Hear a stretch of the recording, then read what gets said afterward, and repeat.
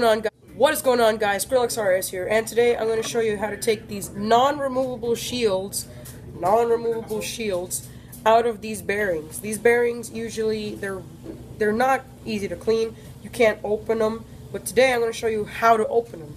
Well, all you need for this is you need a knife, you need some bearings, obviously your bearings with the non-removable shields, and you need either some bone speed cream or some WD-40. If you're going to derust them, like this one right here, this one you need WD-40. With this one, which I'm not going to derust, I'm just going to put lubricant on it and make it faster. With this one, you're going to add some and speed cream on it, alright? So, let's show you how to do this. A little warning with this, you can't put the covers back once you have taken them off. So, you're going to have to run your bearings without the covers, and that kind of gets a little bit in the way. So what you do is, you take one of the covers off and one of the covers on. You don't take both of the covers, because you don't need to take both of the covers. Or, you can have a rubber seal and put it on this one if it fits. So then you have both ends covered and none of them are exposed to dirt or rocks.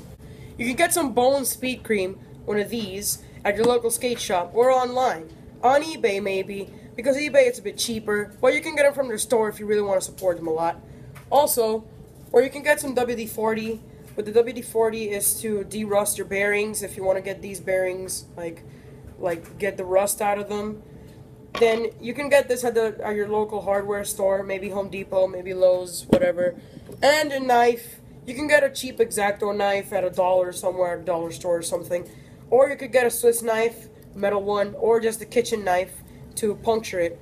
Alright, so to get your shields out of your bearings, these shields right here, you need to First, you get your knife and you can see that there are little ridges right here.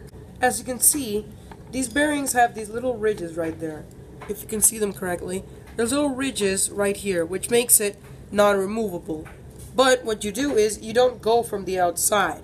If you go from the outside, you won't be able to get them out and you'll probably cut yourself or something. Where you're going to go is on the inside, right this area right here.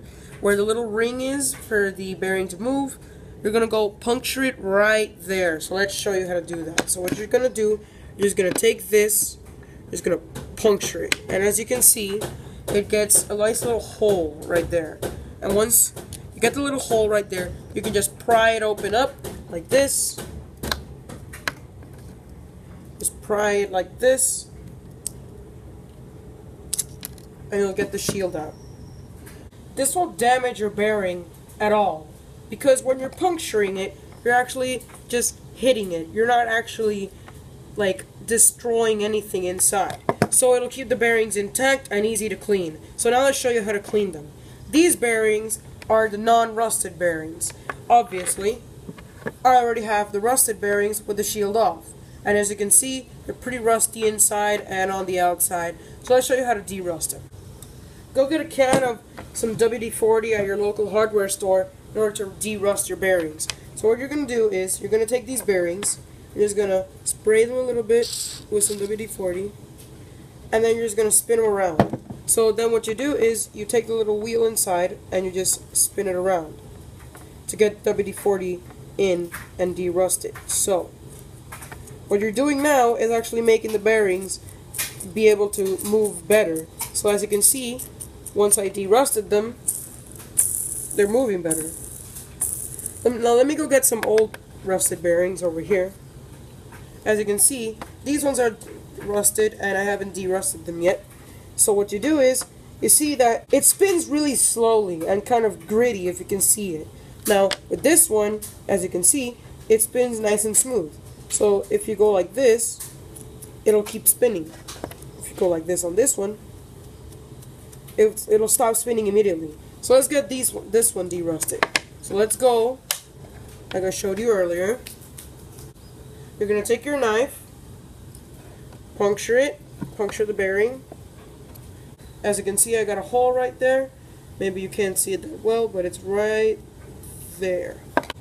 Then what you do is, you take it, and you pry it up. Obviously, I need some leverage, so let me just lift it up like this. And take it, that's it. Then you got your rusted bearing open. And now, let's spray it with some more WD-40. So now, you add some WD-40 right there. I know it's going to start foaming, but it'll it'll be better if you add a little bit, not too much, so you can get all the bearing covered and good to derust it. Now this one is much more rust. I'm going to leave this one on the side so then the oil of the WD-40 can sink in and it'll help derust the bearing by itself. Alright, now I'm going to show you how to add some Bones Speed Cream to your normal bearings. Now, I'm pretty sure this is straightforward, you know, just put a little bit of drops in there and what whatnot. But if people don't know, you can't just add a whole bunch of drops in there. You can only add a specific amount. So for each bearing, you might need to add two or three drops to each bearing. So let's go ahead and do that. Right, so now let's add the speed cream. So you put your bearing flat on the ground right there. You take your speed cream, and then you add only two drops or two or three drops. I'm going to add two drops. And once the bearing has been lubricated, you take it and you move it just like the WD-40. And then what that does is it spreads the lubrication all over the bearing and it'll make the bear the ball bearings move faster. Alright guys, so that was my tutorial on how to get these non-removable shields, non-removable shields out of these bearings, alright? So in case your bearings are stuck or are they rusty, you can just take these shields out and it'll make your life a whole lot better. Alright guys, so hope you enjoyed the vid. Please like, subscribe, and peace, guys.